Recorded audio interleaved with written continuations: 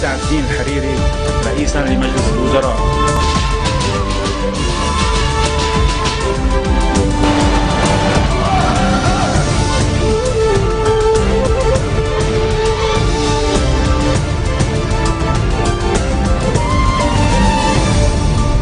أهلا بكم إلى المسائية نبدأ بعناوينها مع منير الحافي. مساء الخير في عناوين هذه النشرة. ثلاثة شهداء وأربعة جرحى لبنانيين في اعتداء إسطنبول واستنفار رسمي متابعة للفاجعة.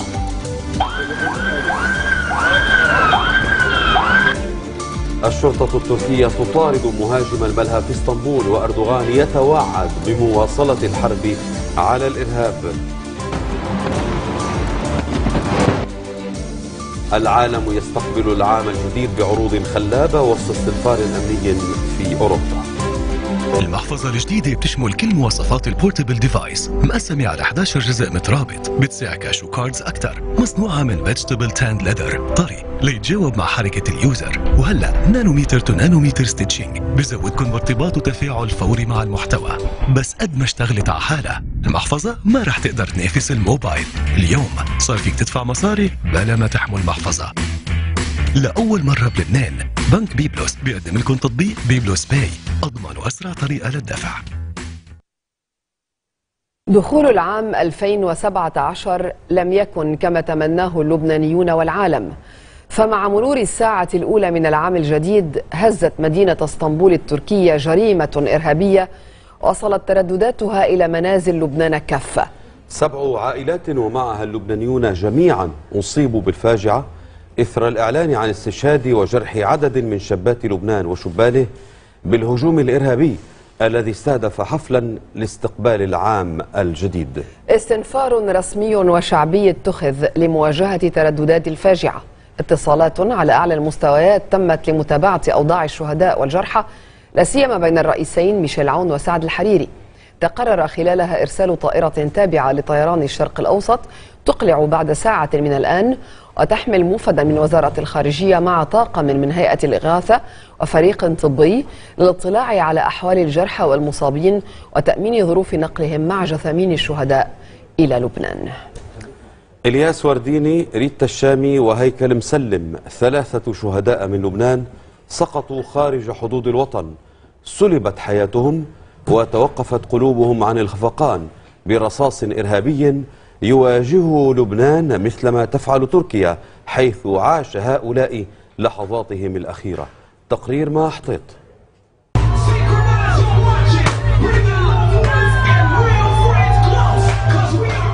هي اللحظات الأخيرة في السنة الأخيرة من عمرهم. في نادي رينا الليلي في إسطنبول قرروا أن يسهروا ليلة رأس السنة ويستقبلوا سنة جديدة. لكن الإرهاب سرق منهم حياتهم.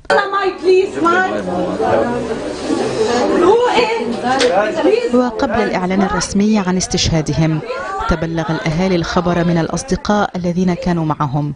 وهكذا بطلقات رصاص من مجرم انتهت حياة اليسورديني ريتا شامي وهيكل مسلم. خبر نزل كالصاعقة على الأهالي الذين تمنوا أن تكذب وزارة الخارجية خبر الوفاة.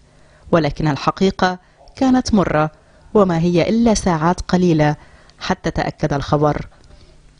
أما الجرحى الأربعة فهم فرانسوا الأسمر نضال بشراوي بشرى دويهي وميليس بارالاردو موزعين على المستشفيات التركية. وعرف أن حالة بشرى دويه دقيقة بعد أن أصيبت بثلاث رصاصات الأولى في صدرها والثانية في رئتها والثالثة في الكبد. أما حالة نضال بشراوي فهي مستقرة وقد أصيب برصاصتين الأولى في الفخذ والثانية في الكتف. وفي خطوة تضامنية مع الأهالي أعلنت شركة نيو بلازا تورز عن تسيير طائرة خاصة لأهالي الضحايا والجرحى وبشكل مجاني من مطار رفيق الحريري الدولي إلى مطار صبيحة في إسطنبول وذلك عند الساعة الرابعة والنصف فجر يوم الاثنين.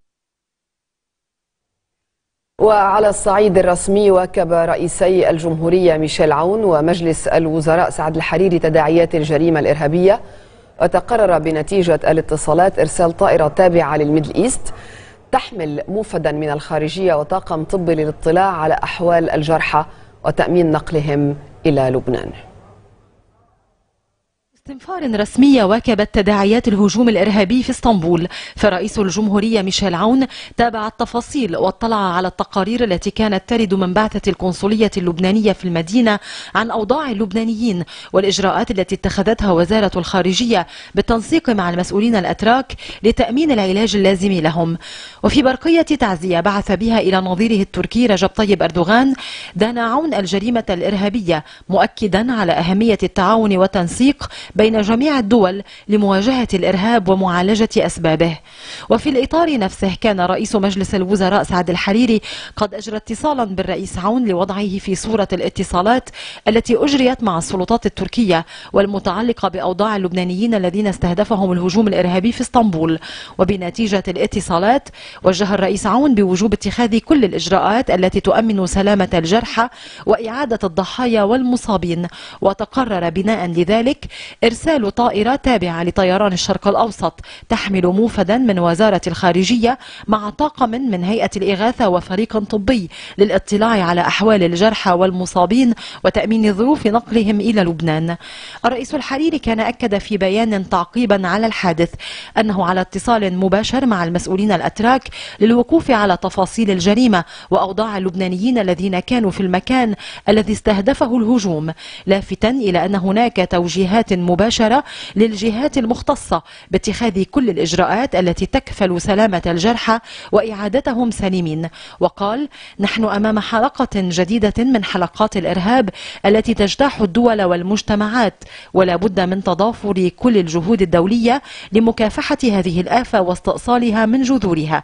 ختم الرئيس الحريري قائلا إن الحكومة اللبنانية تجدد في هذا اليوم تضامنها مع الشعب التركي وقيادته وتعبر عن تعاطفها الشديد مع أهالي الضحايا من كل الجنسيات لا سيما مع أهلنا الذين أصابهم الهجوم الإرهابي والذين يترقبون عودة أبنائهم سالمين بإذن الله. ومن إسطنبول أكد قنصل لبنان هاني شميطلي استشهاد ثلاثة لبنانيين وإصابة أربعة آخرين بعد معاينة جثامين ضحايا الاعتداء الإرهابي. وينضم إلينا السيد شميطلي مساء الخير سعادة القنصل مساء النور أهلا يعطيكم إذا مرة ثانية آه، حكينا معك. آه، الإجراءات المتعلقة بنقل الجثامين والتأكد من الجثث كيف حصل ذلك؟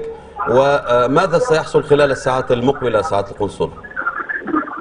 نعم طبعا أنا المرحلة الصعبة والأليمة يعني صارت آه، يعني تم انجازها إذا بتحب. يعني لأنه كان عندنا شك بين المفقودين وتحويل وضع المفقود إلى وضع إنه مستشهد مصفي نعم. هذا جرى التثبت منه بشكل نهائي بالطب العدلي اليوم بعد ظهر كنت بوجودي يعني وقدرنا نطابق الصور والجسامين الموجودة. نعم. مع الأسف اللي هم ثلاث ثلاث لبنانيين. نعم إذا بتذكر كنا حكينا معك على التليفون بنشره الساعة 3 صحيح وما كنا حابين نعمل ولا أي بيان رسمي كان معالي الوزير وزير الخارجية الا ما يكون معتنين نعم. ودولة الرئيس سعد الحريري كان معنا على تواصل دائم كمان نعم. بهذا بهذا الشأن.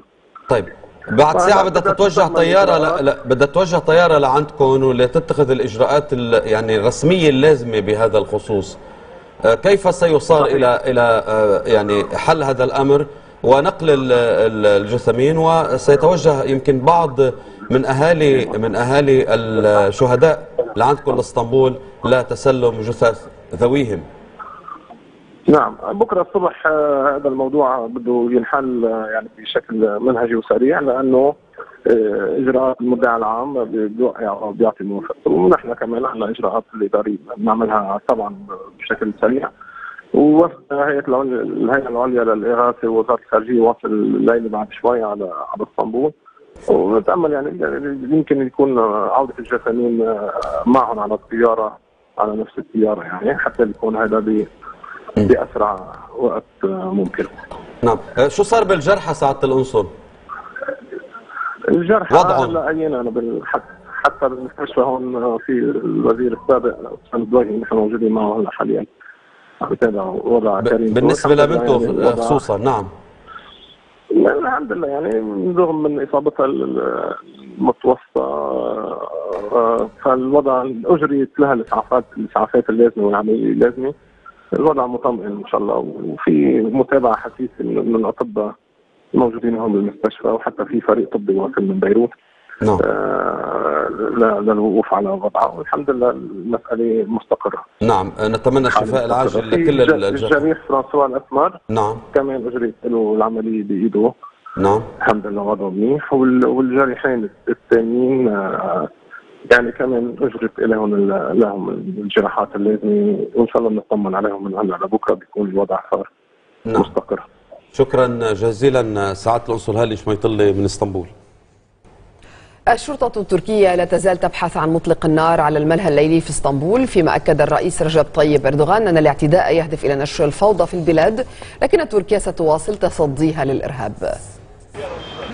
بداية مأساوية للعام 2017 شهدتها مدينة اسطنبول التركية التي كانت على موعد جديد مع الإرهاب فتحولت احتفالات رأس السنة إلى ليلة دموية مرعبة. الهدف هذه المرة كان ملهى رينا الشهير والمطل على الجانب الأوروبي لخليج البوسفور وهو غالبا ما يستقطب زوار اسطنبول ثاني أكبر المدن التركية من حيث عدد السكان والتي انتشر فيها 17 ألف شرطي لضمان أمن احتفالات رأس السنة. مسلح قتل شرطيا ومدنيا بالرصاص كانا عند مدخل النادي الليلي ما سمح له باقتحامه واطلاق النار عشوائيا على الساهرين فيه فاردى العشرات منهم بين قتيل وجريح قبل أن يلوذ بالفرار. وفيما قال شهود إن المهاجم كان يتحدث باللغة العربية. أعلن وزير الداخلية التركية أن لائحة الضحايا تشمل عددا من الأجانب والعرب بينهم من السعودية والمغرب ولبنان وليبيا وتونس. حال من الذعر والفوضى سادت في الملهى الذي كان قبل دقائق من الهجوم الإرهابي يحتفل باستقبال العام الجديد بحضور مئات الأشخاص وذكرت وسائل إعلام تركية أن غالبية رواد الملهى ألقوا بأنفسهم في مياه البوسفور المتجمدة هربا من رئيس الحكومة بن علي يلدرم نفى الأنباء التي تحدثت عن أن المهاجم كان بلباس سانتا كلوز مؤكدا أنه كان إرهابيا يحمل سلاحا ناريا. ارتكب الاعتداء واستفاد من الفوضى في المكان لترك سلاحه في الموقع والفرار. وفي أول رد فعل أكد الرئيس التركي رجب طيب أردوغان أن هذا الاعتداء يهدف إلى نشر الفوضى في البلاد مبديا إصراره على اقتلاع التهديدات والهجمات الموجهة ضد تركيا من جذورها.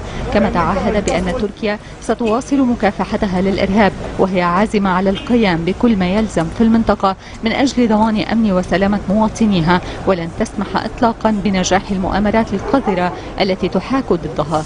اعتداء اسطنبول أثار موجة من ردود الفعل العربية والدولية التي نددت بالهجوم الإرهابي وأبدت تضامنها مع تركيا في مواجهة الإرهاب. ومن ضحايا اعتداء اسطنبول شابة فلسطينية تدعى ليان ناصر وقيل في البداية إنها لبنانية. أجواء من الحزن والأسى تسود حاليا مدينة الطيرة بالمثلث الجنوبي في الضفة الغربية المحتلة بعد أن فجعت بنبأ استشهاد الشابة الفلسطينية ليان زاهر ناصر البالغة من العمر 19 عاما وجرح ثلاث من صديقاتها في الهجوم الإرهابي المسلح على ملهى رينا في إسطنبول. والد الفتاة المفجوع زاهر ناصر تحدث بحرقة وألم عن مقتل ابنته وقال إنه حاول ثنيها عن السفر في رحلة استجمام إلى تركيا بسبب الأوضاع الأمنية المقلقة التي تسود دول العالم وقال إنها تحدثت إليه هاتفيا قبل الاعتداء الإرهابي ومن ثم فقد الاتصال بها شو رسالتك اللي حابب تقولها؟ رسالة حابب تقولها؟ لا شيء بس إن الاولاد اليوم لما الابو يحكي ما يفكروش انه الابو يحكي دائما لمصلحتهم والابو دائما افهم وأنا عارف ومبين في الأخبار وكلكم تعرفوا انه الوضع مش منيح يشار إلى أن التباسا حصل في لبنان بعدما تحدثت أنباء عن أن ليان هي من بلدة الطير الجنوبية. ليتبين لاحقا أنها من مدينة الطيرة الفلسطينية. وفيما كانت اسطنبول تلملم جراحها بعد الاعتداء الإرهابي على ملهارينا. جرح شخصان على الأقل في هجوم مسلح على مسجد حسن الباشا في اسطنبول. على الفور هرعت الشرطة إلى المكان وفرضت طوقا أمنيا في محيطه. كما فتحت الأجهزة الأمنية تحقيقا لكشف ملابسات الحادث. النشرة مستمرة وفيها بعد الفاصل. الرئيس الحريري قضية العسكريين الأسرى ستكون أولوية الحكومة. وعائلات العسكريين المختطفين تأمل بخواتيم سعيدة لقضية أبنائهم.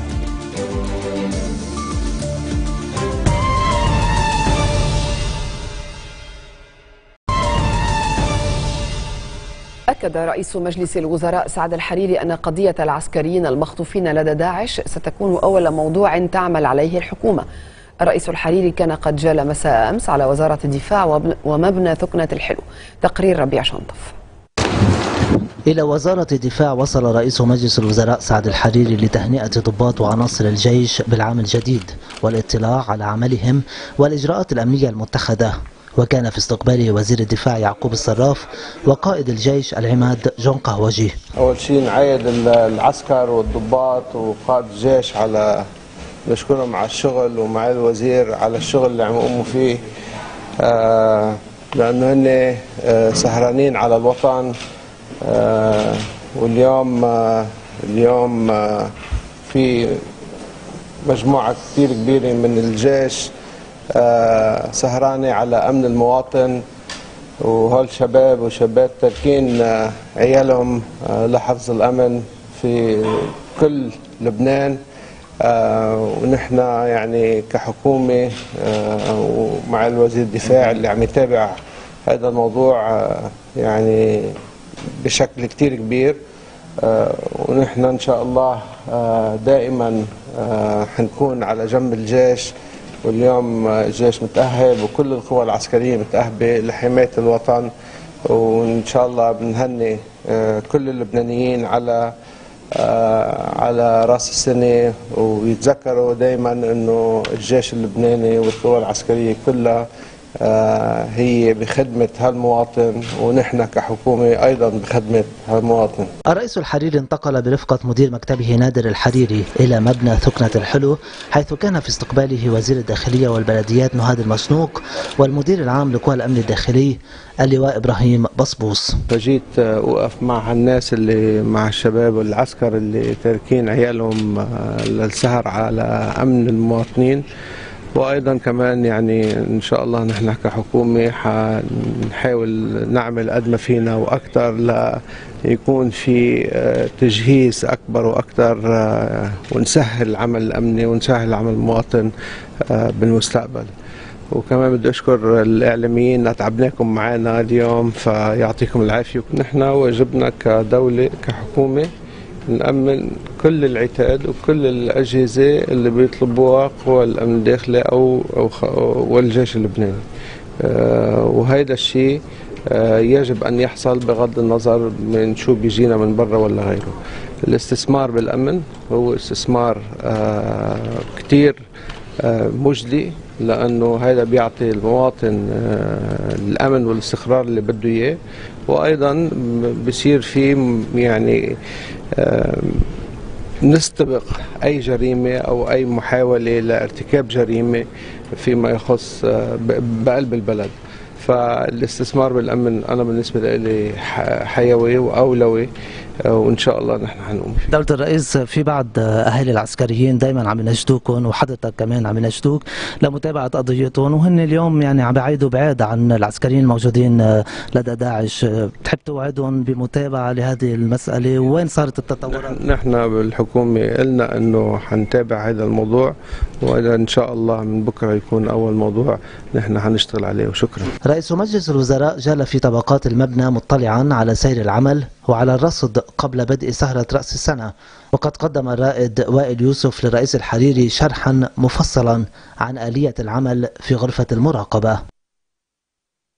وزير الداخلية والبلديات نهاد مشنوق جال بدوره على عدد من المراكز الأمنية ليلا مطلعا على التدابير الأمنية المكثفة التي اتخذت.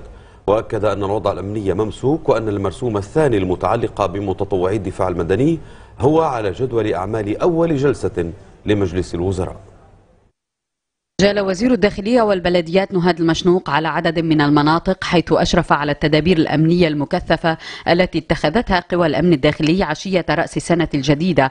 وقد أكد أن الأمن والأمان هما من مسؤولية الأجهزة الأمنية وقال للعناصر الأمنية وطمأن اللبنانيين والضيوف العرب والأجانب إلى أن الأمن ممسوك وأن القوى الأمنية قادرة على التصدي واستباق أي عملية إرهابية. ثم انتقل الوزير المشنوق بعدها إلى ساحة الشهداء حيث تفقد تجمعا لعناصر وآليات الدفاع الدفاع المدني وكان في استقباله المدير العام للدفاع المدني العميد ريمون خطار. وأبلغ المشنوق الدفاع المدني أن على جدول أعمال مجلس الوزراء المقبل المرسوم الثاني المتعلق بمتطوعي الدفاع المدني متمنيا إقراره. أنا عملت كل جهدي أن نكون بأوائل العهد قدرنا نخلص هذا الموضوع. وكان الرئيس ساعد ودعمنا وقلت الرئيس موافق ومكمل. الحمد لله يعني تأخر شوي بس وصلنا له بالآخر وما بيصير غير ما في بيقولوا ما بيموت حق وراه مطالب وتمنى الوزير المشنوق لكل العاملين في الدفاع المدني وكافة الأجهزة الأمنية سنة جديدة مليئة بالخير. قادت رأس السنة عامة المناطق اللبنانية وأكدت على ضرورة نبذ العنف وتعميم السلام. ترأس البطريرك الماروني مار بشارة بطرس الراعي قداس رأس السنة في بكركي بحضور ممثلي الرؤساء والسفير البابوي كابرييل كاتشيا داعيا إلى أن نكون صانعي سلام. نحن نحيي الدولة اللبنانية التي تستعيد مؤسساتها الدستورية وتنطلق نحو بناء دولة القانون القادرة والمنتجة دولة الإنماء الاقتصادي والاستقرار المالي دولة يثق فيها المواطنون. وفي بيروت ترأس متروبوليت بيروت وتوابعها للروم الأرثوذكس المطران الياس عودي القداس في كاتدرائية القديس جورجيوس آملا من المسؤولين العمل على أعطاء الناس أبسط حقوقهم. أملنا أن ينصرف المسؤولون إلى العمل الجاد. ولو كانت مدتهم قصيرة وأوليتهم قانون الانتخاب وأوليتهم قانون الانتخاب. فدورة الحياة لا يمكن أن تتوقف وأمور الناس لا يمكن أن تهمل. كذلك احتفل رئيس أساقفة بيروت المطران بولس مطر بقداس السنة الجديدة ويوم السلام العالمي على نية السلام في لبنان والشرق الأوسط في كنيسة سيدة الوردية في رأس بيروت الحمراء مؤكدا أن السلام يجب أن يبنى على العدالة والحقيقة والحرية والمحبة. وللغاية نفسها ترأس متروبوليت بيروت وجبيل وتوابعهما للروم الملكيين الكاثوليك المطران كيرلس بوستروس قداس رأس السنة في كاتدرائية مار الياس. وفي يوم السلام العالمي الذي تحتفل به الكنيسة في الأول من كانون الثاني ترأس البابا فرانسيس قداسا احتفاليا في بازيليك القديس بطرس بالفاتيكان. وفي عظته حض البابا زعماء العالم على العمل معا لمكافحة طاعون الإرهاب وبقعة الدم التي تغطي العالم بظلال من الخوف. البابا الذي دان الهجوم الإرهابي الذي استهدف الملهى في إسطنبول أبدى تضامنه مع الشعب التركي. معتبرا أن السلام يصنع برفض الكراهية والعنف والسير في طريق الإخاء والمصالحة.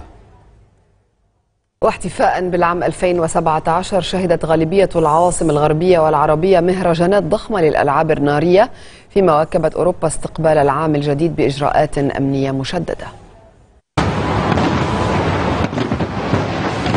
إنها إمارة دبي التي باتت محطة مهمة ينتظرها العالم أجمع للاستمتاع باحتفالات رأس السنة. كعادتها أبهرت مواطنيها وقاطنيها بعرض خلاب للألعاب النارية في محيط برج خليفة بالتزامن مع احتفالات أخرى في مواقع عدة منها القناة المائية الجديدة وساحل جميرة والمارينا.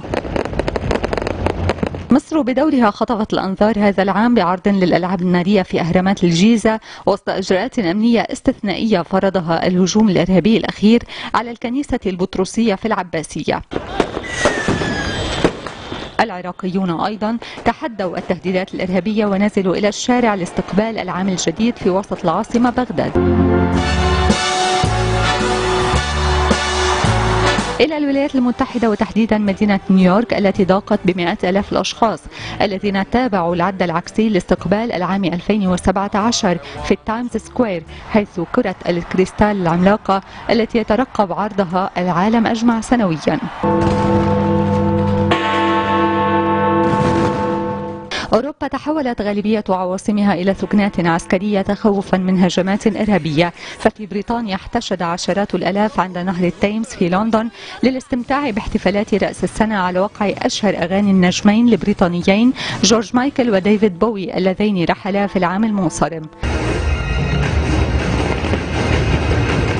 فرنسا التي اكتوت بنار الإرهاب نشرت نحو 100 ألف شرطي وقلصت الاحتفالات إلى الحد الأدنى في العاصمة باريس فألغت الألعاب النارية واستبدلتها بعروض صوتية وضوئية في جادة شانزليزيه الشهيرة. مشهد الإجراءات الأمنية المكثفة لم يغب عن ألمانيا التي نظمت استقبالا رائعا للسنة الجديدة عند بوابة براندنبورغ الشهيرة وسط أجواء راقصة مميزة. العروض الرائعة للألعاب النارية. حضرت أيضا في الساحة الرئيسية في العاصمة البولندية وارسو فأنارت سماء المدينة وأشهر معالمها السياحية. إلى روسيا حيث استقبل العام الجديد بأبهى حلة في الساحة الحمراء بالعاصمة موسكو والتي أغلقت أمام الجمهور وسمح لستة ألاف مدعو فقط بالدخول إليها. عند شاطئ الكوبا كابانا في ريو دي جانيرو بالبرازيل تجمع نحو مليوني شخص ارتدى غالبيتهم اللون الأبيض لوداع العام الفائت بعرض للألعاب النارية. استمر 12 دقيقة. مع بداية العام الجديد ماذا يقول أهالي العسكريين المختطفين؟ وأين أصبحت المفاوضات في هذا الملف؟ تقرير ناهد يوسف. براءة هذا الطفل لا تزال جاهلة للحقيقة البشعة عن سبب عدم رؤيته لوالده. سنتان وسبعة أشهر يبلغ عمر حسين يوسف ابن العسكري المختطف محمد يوسف الذي لم يرى ابنه إلا في أول شهرين من عمره وفي الزيارة التي حظي بها أهالي العسكريين لأبنائهم حينها كان عمر الصغير ستة أشهر.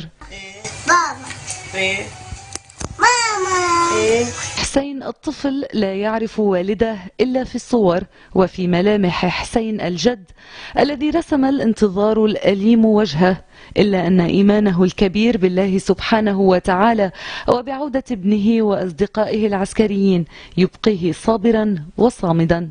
الشيء اللي مخليني متمسك بهالملف هو نداء ومناشدة نشدني ابني فيها ورفقاته العسكريين بس ظهروا بعد حوالي ال 25 يوم من كنا نحن فاقدين كل المعلومات اللي بتعلق بحياة ابننا. وناشد هو والعسكريين الباقيين لأهلهم. وقال لي يومتها يا بيي يا أمي يا إخواتي يا أهل بلدي يا أهل شعبي لبنان ما تتركونا ما تخلوا عنا نحن بدنا نرجع على بلدنا. من هذا الوقت أنا أخذت عهد بيني وبين نفسي قدام الله. ابني يمكن سمعني يمكن ما سمعني لكن الله سمعني. أنا من خلال هالعهد تحملت هاي المسؤولية وبعدني كل لحظة بحس حالي ضعيف. بتذكر إنه أنا وعدت ابني ما رح اتخلى عن هالملف. إحنا بعد عنا أمل إنه عايشين نتمنى بهالسنة الجديدة تبشرنا فيها نبشر لبنان كله سوا بإنه هالعسكريين لازالوا أحياء رح يرجعوا ورح يشوفوا أهلهم ورح يشوفوا بلدهم ويرفعوا راسهم وراس بلدهم فيهم. العمل على الملف مستمر وإن كان سريا حسب ما يؤكد يوسف الذي يأمل بأن يثمر حرية للشباب هذه المرة. فيني أقول أنا إنه إيه في وسيط عم يشتغل عبر اللواء عباس إبراهيم هو متكتم علي طبعا حرصا وخوفا على الوسيط وعلى نتيجة المفاوضات. متأملين خير نحن بهذا الوسيط لأنه طبعا اللواء ما بيحكي شيء من فراغ. اعلن وقال إنه هو حاسس ولامس جدية أكثر من كل اللي سبقوه بهذا الوسيط. ومع بداية هذا العام يدعو حسين يوسف رئيسي الجمهورية والحكومة بأن يتوجا العهد الجديد بعودة العسكريين. نحن إن شاء الله بوقت قريب رح يكون في لنا لقاء مع الشيخ سعد. أنا معلق آمل كثير كبير عليه بعرفه قديش هو إنسان رقيق وشفاف وبعرفه قديش إنسان شعبي خليني أقول لك وبعرف قديش في طيبة جوات قلب سعد الحريري. إن شاء الله إنه بلقائنا رح نرجع ناخذ منه جرأة أمل جديدة. وسط أمله العنيد للقاء ابنه قريبا يمضي حسين يوسف وقته في خيمته في ساحة رياض الصلح. متاملا صور محمد بانامل تغازل الهاتف عل الصورة تتحول حقيقة. لا يزال هذا الرجل الصبور ينتظر لا يمل ولا يتعب مثله مثل باقي أهالي العسكريين الذين يأملون أن يحمل العام الجديد أبنائهم إليهم سالمين. من ساحة رياض الصلح ناهد يوسف تلفزيون مستقبل. بعد الفاصل في النشرة. النظام السوري يواصل انتهاك الهدنة والمعارضة تحذر من انهيارها. والعام الجديد وأسعار الشقق السكنية في لبنان.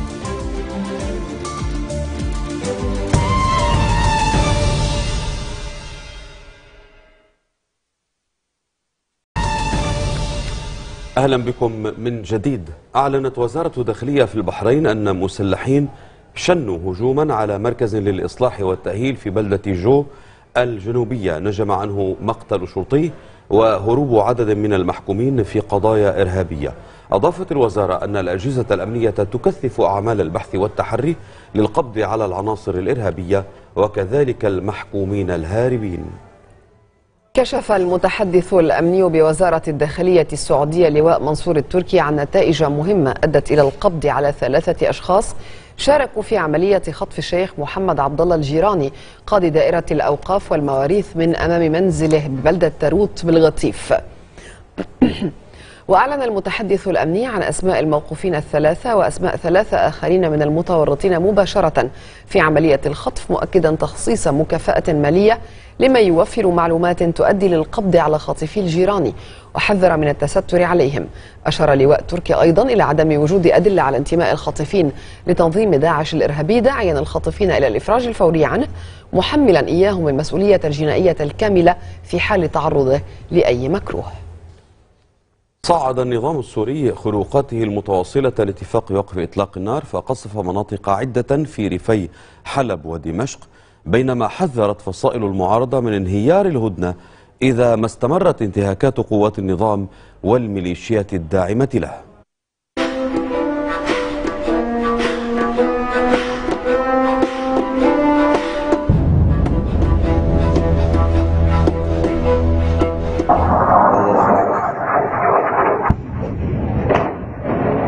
حبر على ورق. هكذا يبدو اتفاق الهدنة التركية الروسية على أرض الواقع في سوريا. إذ عاد نظام الأسد وخرق الهدنة عبر استهداف منطقة وادي بردة بريف دمشق بغارات جوية. شنها الطيران الحربي التابع له على قرية عين الفيجة كما واستهدفت قواته مرتفعات المنطقة بقذائف المدفعية والرشاشات الثقيلة.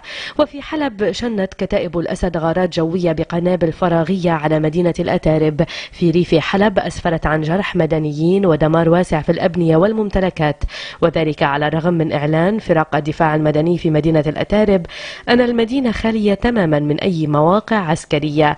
هذا وبدأت غارات النظام منذ صباح الأحد في منطقة الأتارب ثم تجاوزتها إلى الفوج الستة والأربعين قرب الحدود التركية. وفي ريف حلب قصفت عدة قرى منها ميزنا وتل قنطار وبلدتي خان العسل والعيس وأطراف بلدة خان طومان وغيرها. وفي السياق قال الدفاع المدني في حلب إن الطيران الروسي استهدف صباح الأحد قرى بنان والمنطار وكفر كار بمنطقة جبل الحص في ريف حلب الجنوبي مؤكدا أن المنطقة خالية من أي مقار عسكرية.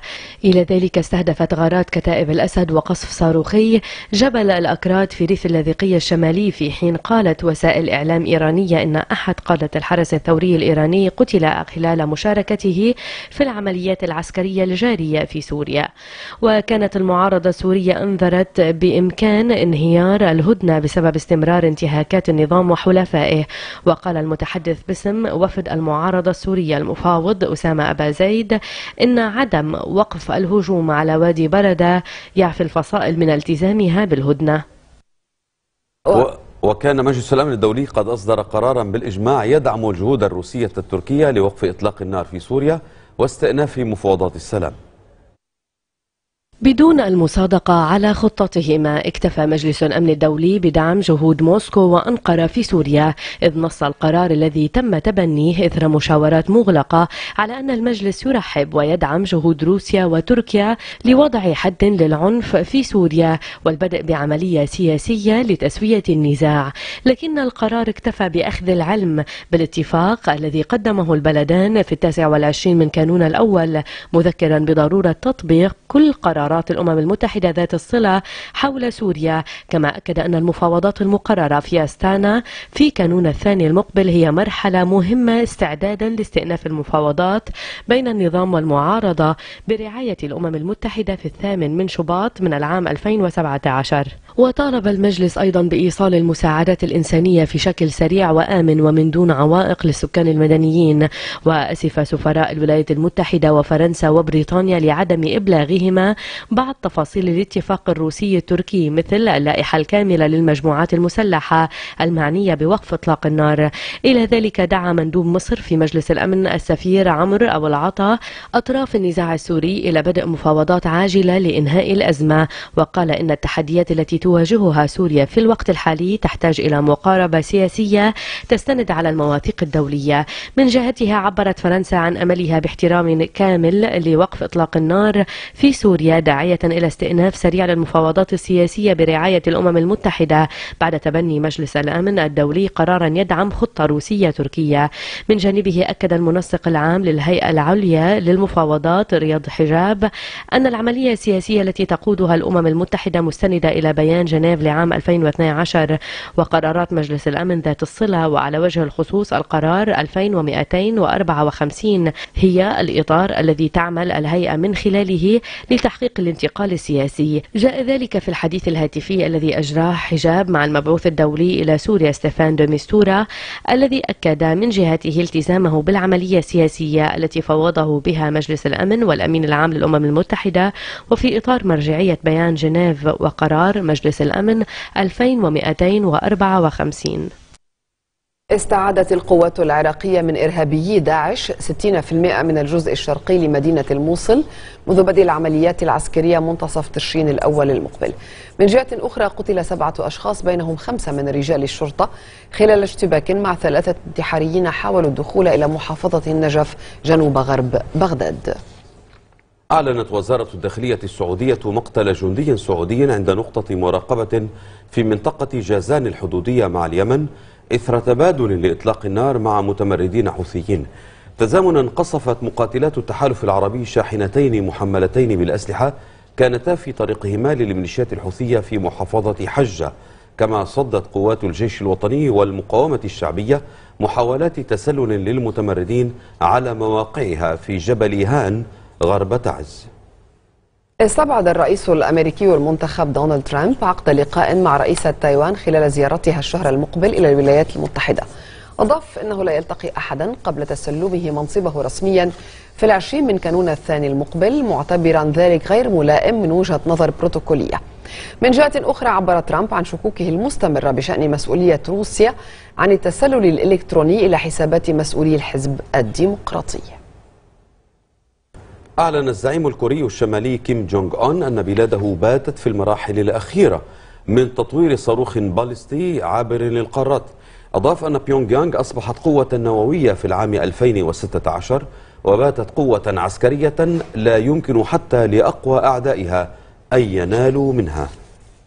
لقي 23 شخصا مصرعهم جراء حريق شب على متن قارب خشبي كان في طريقه إلى جزيرة سياحية في خليج جاكرتا قبالة العاصمة الإندونيسية وأنقذت فرق الإسعاف 194 شخصا كانوا على متن القارب فيما بقي 17 في عداد المفقودين. والتهمت النيران القارب حين كان على بعد ميل واحد من الميناء التي غادرها متوجها إلى جزيرة سياحية شمال جاكرتا.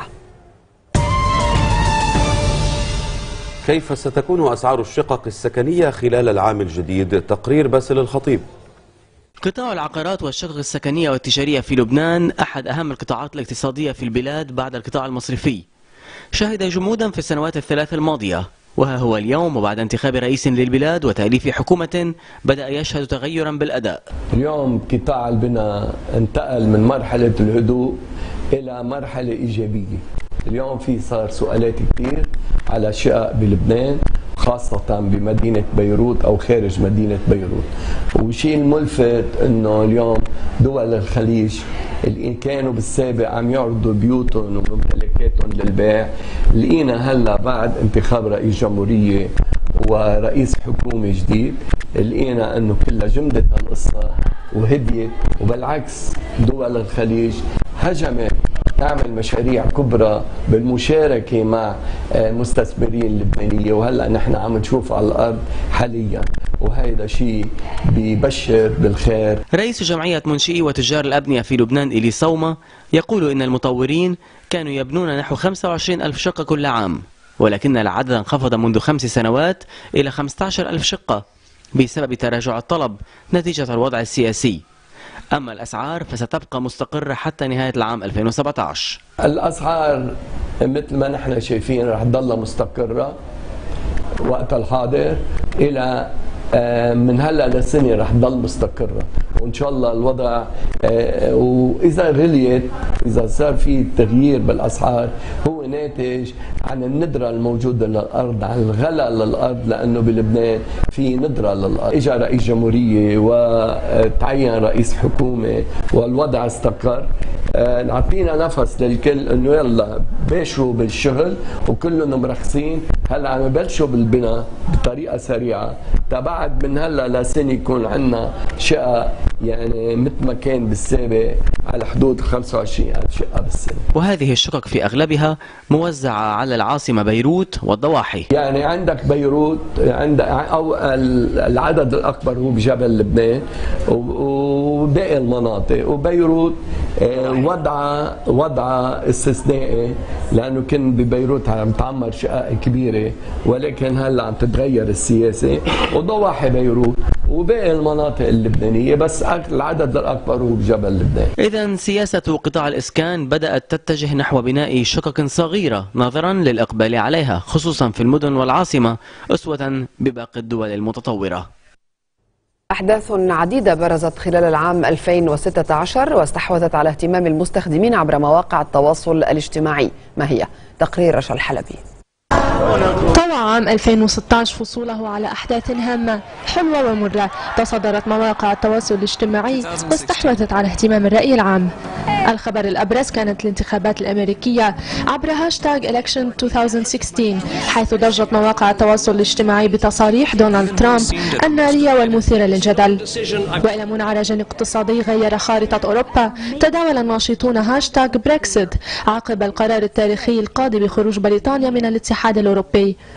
أنظار العالم تحولت يوم 15 تموز إلى تركيا التي شهدت محاولة انقلاب فاشلة. ولعل السابقة كانت إطلالة الرئيس التركي رجب طيب أردوغان ليلتها عبر أحد التطبيقات تواصل FaceTime عام 2016 شهد مسلسلا دمويا واعتداءات إرهابية خلفت أعدادا كبيرة من الضحايا الأبرياء.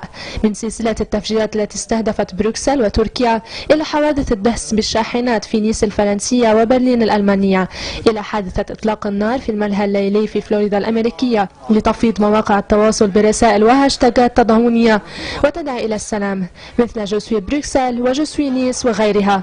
وقد انسحب العام على وقع اغتيال السفير الروسي في أنقرة حيث انتشرت صور وفيديوهات لحظة الاغتيال كالنار في الهشيم على مواقع التواصل. حوادث الطائرات كانت حاضرة أيضا. من تحطم الطائرة التابعة لشركة مصر للطيران أثناء رحلتها من باريس إلى القاهرة والخلاف حول الخلفية الإرهابية للحادث.